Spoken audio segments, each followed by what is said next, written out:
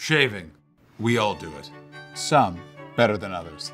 So here are some tips to make the most out of your shaving experience. How to shave. First, prep the skin.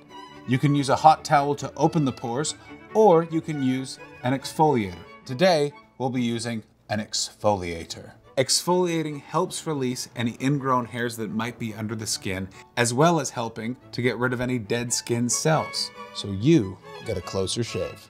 Your shave aid actually has a lot to do with the quality of your shave, not just your blade. I like using something clear so I can see what I'm doing. This is shave butter from DSC. You can use shave butter instead of foam.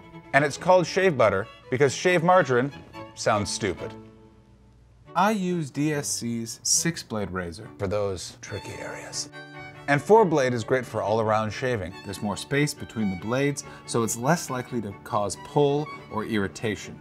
My main tip, no matter the blade you use, use shorter strokes and let the weight of the handle do the work for you. Don't press hard. Finish it up with some moisturizer and help soothe some freshly shaved skin. This has been a how-to from the Dollar Shave Club how-to library of how-tos. We have some more handy videos all about Dollar Shave Club products. Click somewhere to watch.